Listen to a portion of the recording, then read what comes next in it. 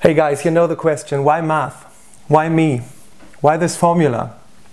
Do I need it in my life? I tell you what, you don't need any formula, but you have to understand things. And math should teach you to understand things. I give you an example. The binomial formula. a plus b to the power 2 is equal to a to the power 2 plus 2 times a times b plus b to the power 2. Yeah! What should I do with this formula? Nothing, but the right way to teach it is a plus b, a plus b, and again a plus b. I write it down like this.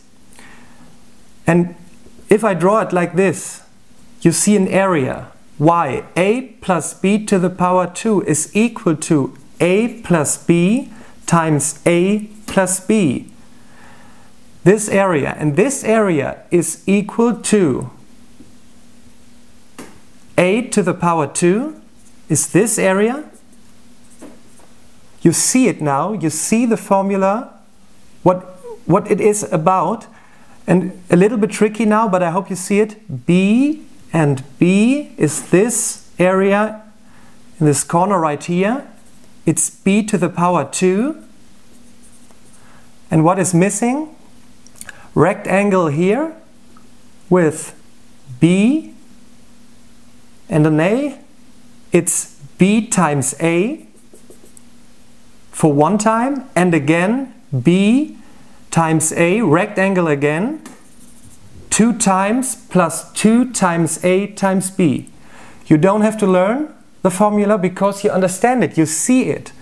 And I hope everybody will agree with me that understanding is important for your life.